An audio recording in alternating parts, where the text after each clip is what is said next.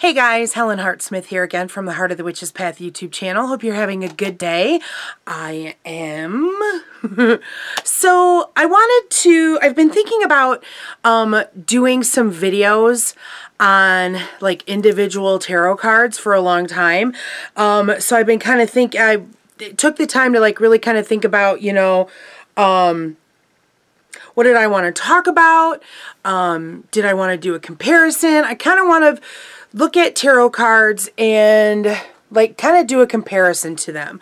For any of you out there that that read cards, who are into tarot and things like that, then you may be um, like me. I own, I'm kind of a collector, but not really. Um, I only have space for so much in my house, so it's not like I can have, you know, a shelf full of tarot cards, but I definitely like tarot cards. I think the artwork on a lot of them are like insane, especially in the last few years. We've had some really great decks that have come out.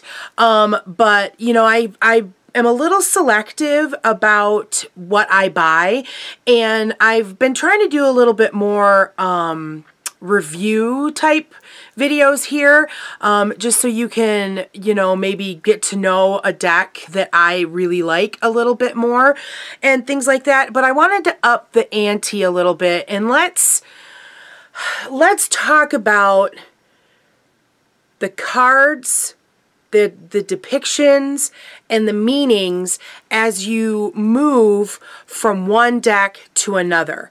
And are they similar? Are they different? Are the are the meanings the same or are they different? Do they have a theme? Um, and stuff like that. And so I was like, well, this is kind of interesting. And so I thought, you know, here's what I'm to do. I'm to take three decks and I'm just going to compare them. And we'll start with the major arcana and I'll do a video like for each card. And the, and let's look at these three decks and see if there's similarities in the card depictions. Are there similarities in the meanings? Um, and are they or are they completely different? So that's what I want to kind of do with this series. And so the decks that I decided to use are the Rider Waite deck because I feel for me personally, I know that people have like some really strong views on the Rider Waite deck and that's cool. But um my thought process is the Rider Waite is kind of like the the beginning the most popular, the uh, almost kind of like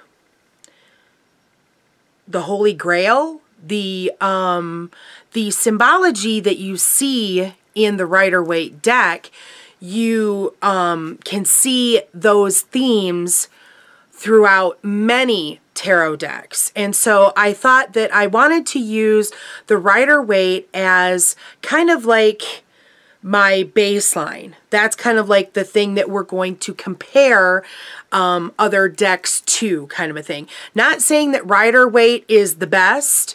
Um, not saying that Rider Waite is beat all end all nothing like that rider waite is actually the first deck that i ever owned it's the deck that i learned to read tarot on and so um, i wanted to use that as like a basic basic baseline type thing um, to compare as we kind of look at these decks. So the other deck that I chose is the Steampunk Tarot by Barbara Moore and it's illustrated by Aly Fell. Um, I've got the big the big book here. Um, so this is one of my favorite, well, this is probably my favorite deck. I love the steampunk depictions. I'm a big steampunk fan and um, I really like the ease in which you can use the book um, or not use the book and stuff like that. And so that was the that's one of that's the second deck that I decided to use for these videos and then the third deck that I want to use is the um, the Night Sun Tarot and they are um, let's see um, instructions by Fabio Listrani. So this is actually the book that comes with the deck. So that's um, the little book there. Um, so and then oh just to make things even, here we have the Rider Waite. Let's hold it a little straight there. Um, so yeah, so these are the three, and I wanted, I didn't want to go crazy because, you know, I have a ton of decks. Um, but I wanted to kind of keep things simple and, you know, three is a magic number.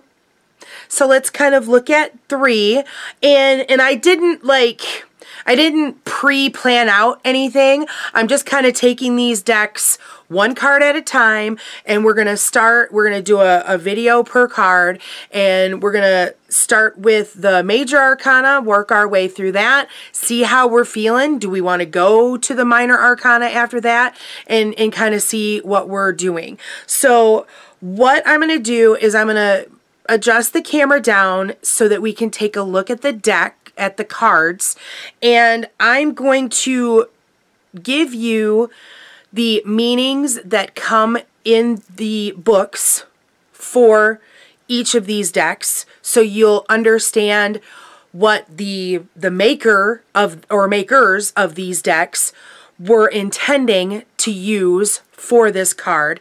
And I'll talk about, I may talk about my own impressions um, and things like that because I was a big book user from the beginning and I'm trying to move away from that um, now. And so let's see where this journey takes us and let's see can we learn anything um, about the differences in tarot and how does it make us feel about tarot and are they different are they the same you know whatever. Let's see what happens okay Okay, so here we've got our three cards, and I have them face down for right now. Um, let's go ahead and kind of flip them over one at a time, and we'll kind of take a detailed look at each of the cards and, and then do some comparison, some contrasting with what we see with the cards, and then we can take a look at the books and see what the makers intended for that card to mean, okay? So let's start with the Rider Waite card. So here we have the Fool. And I'm going to try zooming in. Let's see if we can get a better look at the Fool. There we go. Okay, so here we have the Fool. The first thing that I notice about the Fool card is, first of all, all that yellow on the background, um, it just looks very bright to me. Um, we have here, of course, we have the Fool. Um, he is, he has a, a traveling pack, so to speak, that is kind of um, on his shoulder. This is a very um, traditional hobo um, uh, imagery for me. Um, so that just makes me think of someone that's on the road, basically. Um, so that's really interesting. Um, another thing that comes or that stands out to me is the um, the rose or the flower. I, I, I'm assuming it's a rose. It may or may not be, but there's a flower in his turned up hand here. I also see a little white dog here that seems to be um, following him or maybe he's his traveling companion. Um, I'm not really sure, um, but there's definitely a little white dog. And then another thing that stands out to me would be the mountains here in the background. And so that's kind of another um, indicator to me that there is, um, there's a, a journey of some kind to be taken, okay? Uh, we also, too, have the sun up here in the corner. So here is our kind of baseline imagery for what does the Fool look like, okay? So I don't want to mess around too much with shaking the camera around. So let's slide this over and let's take a look at, this would be the Steampunk deck um, card. So here we have uh, depicted a chimney sweep. That looks a little dark in this frame, so I'm going to give us a little light illumination here so that maybe you can see um, some of the details better. I'm going to use my, um, my camera. Let's see if this yeah, that will give us a little bit more detail, I guess, without like completely drowning out the card. Um, so um, you see here we have a chimney sweep. And he is obviously, if you look at the background here, he is on a rooftop and there seems to be um, large buildings from the city of London in the background here, which very much reminds me of the mountains here in the original Fool card. Maybe let's kind of try to bring them in together. Yeah, that might be kind of cool. Um, and uh, and the next thing I notice is that the chimney sweep is, um, again, something that is, that we see in the, the Rider Waite Fool card, um, there's something across his shoulder.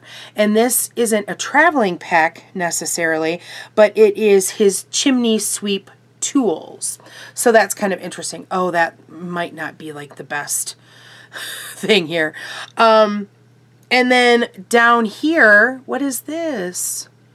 Oh, that light is just really not working for me. Sorry. Um, that wasn't helpful. Um, down here in the corner, we have a little white dog. Looky here, a companion. Um, so, you know, definitely a singular person. Um, this gentleman in the steampunk card almost appears to be, you know, on the job where the fool appears to be, you know, on the road. Um, that kind of stands out to me. Um, but there's definitely, um, we've got a nighttime, which is a, a difference between the two. Um, where this is bright and sunny, this is definitely dark and nighttime. Um, that's interesting to me. Um, I, I definitely don't necessarily get like um, images of beginnings with this uh, particular card with the with the steampunk version like I do here. Um, but you know that's just me too. So there's the steampunk version of the Fool. Let's slide him out. I want to keep the the Rider Waite Fool in frame. And let's take a look at the Night Sun card. Okay, so here we have the Night Sun Tarot Fool card next to the Rider Waite. Um, definitely a lone figure, again, depicted in this card. Um, the In general, this Fool card falls in very, very much with um, the rest of the Night, Night Sun deck. It's a very... Um, how do I want to say this? It's a very, um, it's an interesting deck because of the way things are depicted. Um, so it's, um, there's definitely like a lot of predominant colors in this deck. Um, so, uh, and, but I guess that's not really what I wanted to talk about. Um, we have the lone person. We have a dog, um, depicted here next to the figure. Um, again, we have the stick on the shoulder with a bag. So that's very similar to what we have here in the, uh, the Rider Waite deck. Um, there seems to be coming from this corner of the card, um, coming downward, there seems to be some kind of a light source. Now, we don't necessarily see a sun, um, but there is definitely a light source. And this card in general is fairly dark. So I don't know if, again, not really sure if that light source is the sun or if it's just light. Okay. Um, we definitely have to, it's kind of hard to make it out um, unless you're kind of like really close and, and seeing the card. Um, there's a lot of kind of like wood structurey. I don't even, no, I don't even want to call it a structure. It, it's like, it's wood. It's almost like debris. Maybe that's like the better word in the background here that could be the um, the artist's attempt at recreating some kind of a skyline. Um, I don't think that um, I don't think that this individual is on a rooftop like we saw in the steampunk deck. I think that um, that he's inside somewhere and this is kind of debris that's in the background. Um, so not really sure exactly what that intention is, but um, when I look at this card, um, I am definitely seeing some kind of a journey because again, there's this this pack that is um, that is a general um, going somewhere type um, item um, like we see here. So there's a, a journey of some kind. Um, but yeah, that's, that's like the big thing that I get from that particular card. And that's, that's kind of about it. So that's kind of like showing the three cards so or kind of like taking a look at the three cards and kind of comparing the imagery. So what I want to do is I want to pull out again. No, not forward or not. Let's pull out and let's have all three cards in the frame again. So let's look at what the makers of these decks wanted or intended the meaning for each of them to be. And again, let's start with that Rider Waite card that's in the center. So the Fool now, one thing that's that I find that's interesting uh, when we deal with um, different tarot decks is that a lot of your traditional decks will have the upright meaning and they'll have the reversed meaning.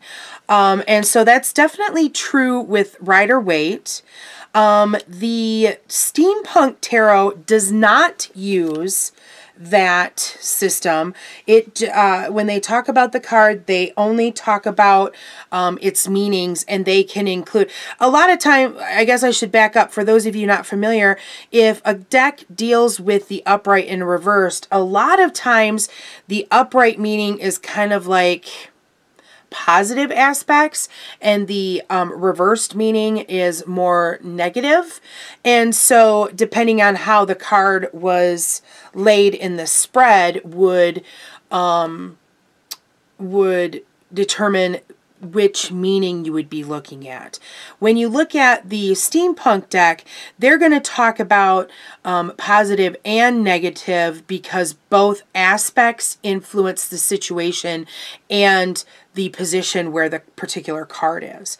And the Night Sun Tarot is uh, the same as the Steampunk. These are, are more contemporary decks, the Steampunk and the Night Sun, and so I think that's probably where we see a lot of those changes from the more traditional having the upright and reversed to the newer ones not necessarily doing that, but dealing with everything all together.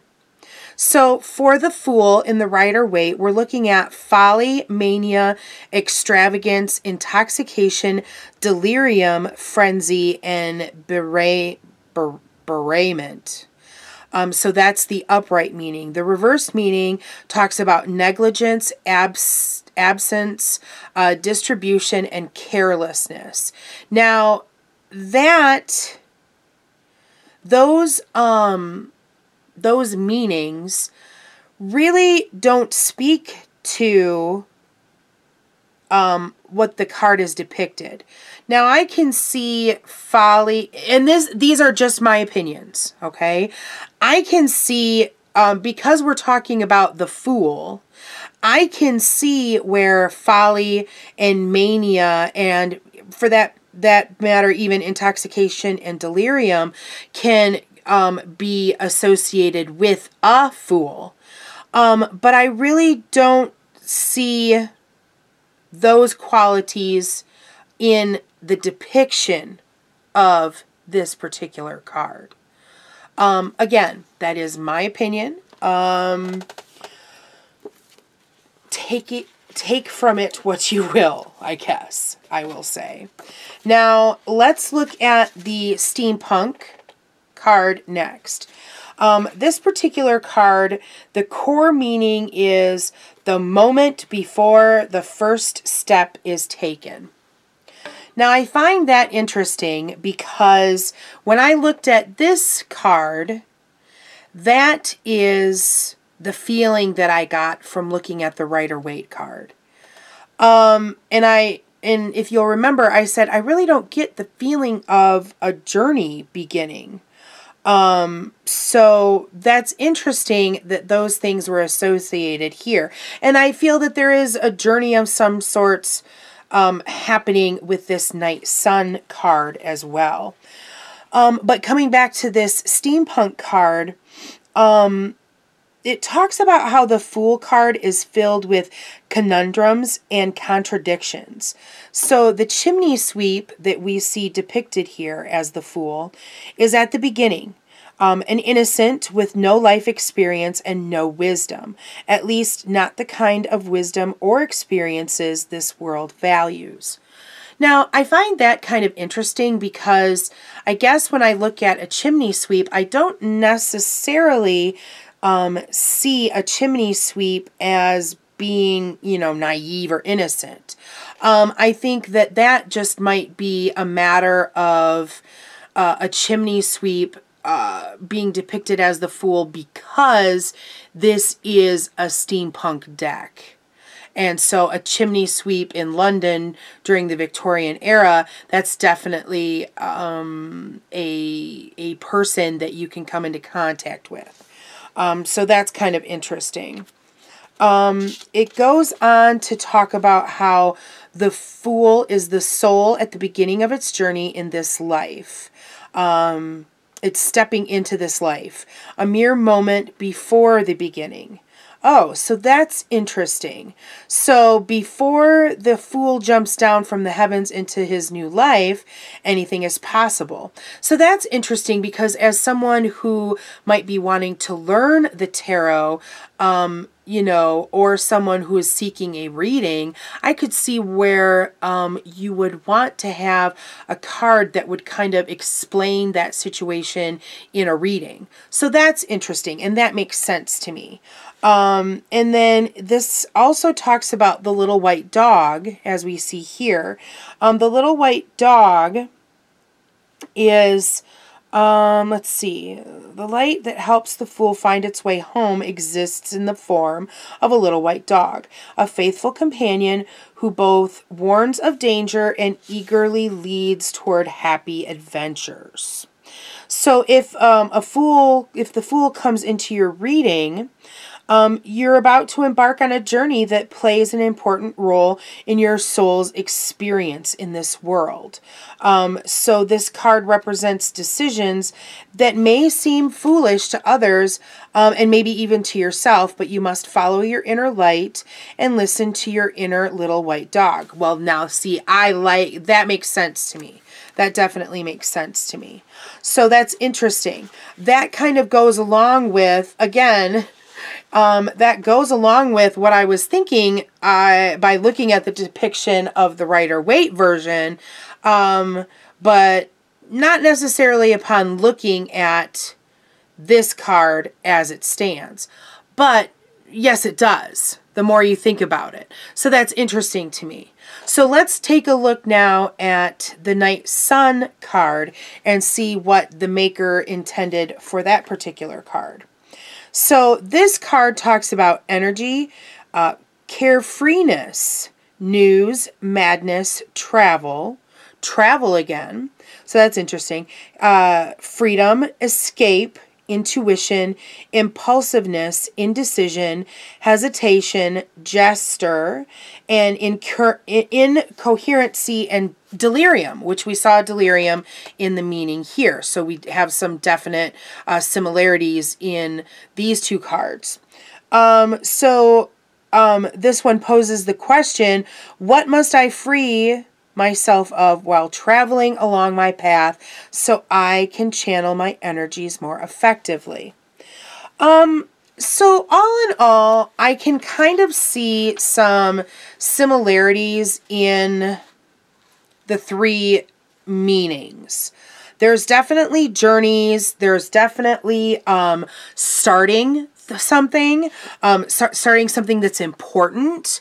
Um, and so um, I would say that while they aren't the same meanings verbatim, having looked at three different cards and, and compared them, I would say that regardless now of what deck I would be using, um, I'm kind of cementing in myself when I look at the Fool, I'm going to be thinking about new journeys, starting off on something that's important for your soul and important for your life's work as you, you know, spiritually uh, go through your journey in this um, existence.